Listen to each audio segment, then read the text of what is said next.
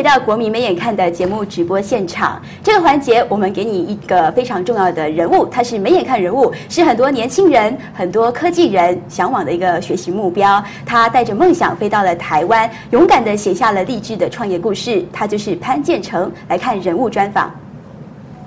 我们是很平凡，大家都是很平凡的，我们只是因为走了一条诶比较不一样的路。人人手中都有一支的 Pen Drive，是潘建成和伙伴努力的成果。今年三十七岁的潘建成是台湾群联电子创办人兼董事长。这位年轻有为的董事长其实是大马子民，来自士根庄这一个淳朴的鱼米之乡。在当上董事长之前，他过的日子和大多数人一样，是平凡不过的日子。谁知盘中餐，粒粒皆辛苦。每一粒米从插秧到收成，过程都必须有汗水。出生于农家的潘建成，比任何人更懂得这一个道理。努力播种、与天搏斗的农家精神，让这位科技小子成功创立台湾群联电子这家营收超过三百亿台币的上市公司。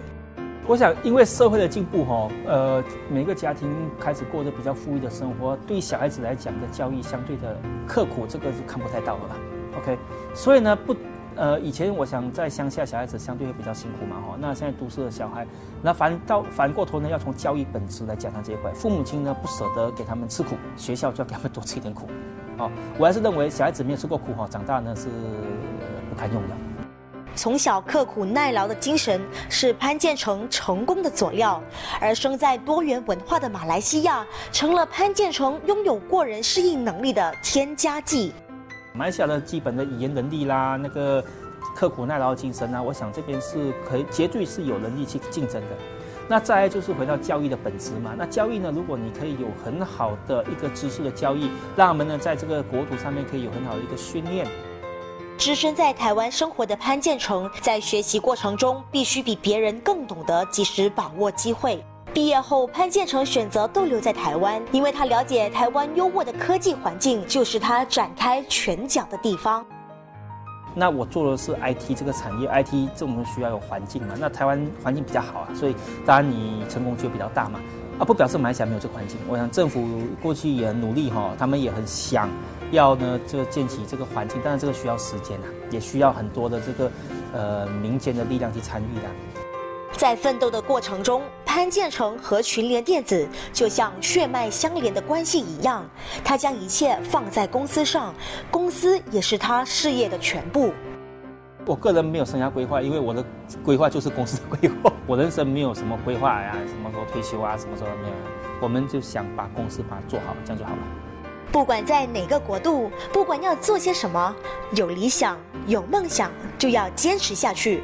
坚持不懈是成功的第一步，就像潘建成不断自我提醒的座右铭：不要忘了原来的理想和最初的动力。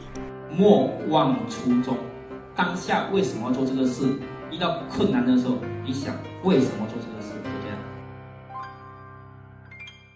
这四个字“莫忘初衷”呢，是我一直以来看了他的专访之后呢，提醒自己的。那你们两位看了他的专访之后，有没有什么启发，或者是从他身上学到什么呢？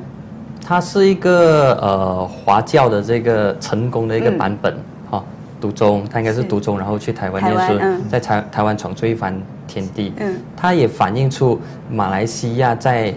留住人才方面的一个一个失败一个不足的地方，嗯，我们的我们的人才流向几个地方，第一呢，最多就往南部的新加坡，接下来就往北部的这个台湾，以及往欧美国家流，所以这一些人才的这个流失，对马来西亚来讲，其实是很可惜，也是一种我们帮人家做嫁妆啊，我们辛辛苦苦栽培了啊，给他十二年的这个教育，那也知道。高中的时候，大专的时候，他就飞去其他国家，飞去其他国家，有了学有了些学术成绩之后，就不回来，因为马来西亚的这个土壤没有让他很好的。去发发挥跟让他茁壮的这个长大，是可惜。OK，光庆呢？我反正在看讲说马来西亚整个环境哦，我们有没有那一个环境让这些人才回来？现在处了已经处了啦，我们就接受他们已经处了。现在我们想他们怎么样回来？是有没有？这样我们就要有一个环境让他们回来嘛。其实我们看我们我们的政府不是没有努力，从以前的多媒体超级走廊 MSC，一直到生物股 Bio Valley。到现在，呃，这个 EDP，嗯，其实都有在推一些呃，看起来就是这个呃名声非常大的一些项目。然后我一直在想说。呃，我们很厉害，推荐新的计划，但我们有去检讨计划出现了什么问题吗？我记得当我在读大学的时候，我读的是生物啊，这个工程系哦。嗯。当时候，哎，身边的人都告诉我说前途无量。啊。为什么？因为马来西亚就要推这个 A Bio Valley 的这个生物股。我毕业出来的时候是吗？发现到这个东西好像不存在了，就没有听到那个消息了。那它情况就是这样子，所以 MSC 的情况也是这样子。我们看到 Cyberjaya。的那个发展其实已经停滞了蛮蛮蛮长时间了，所以究竟发生什么问题？我想我们在推出新的项目的同时，其实应该要检讨。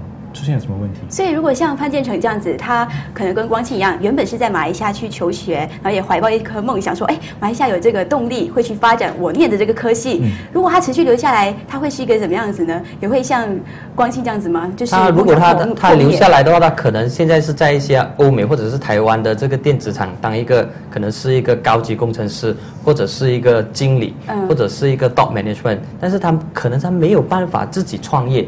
现在年轻人都想。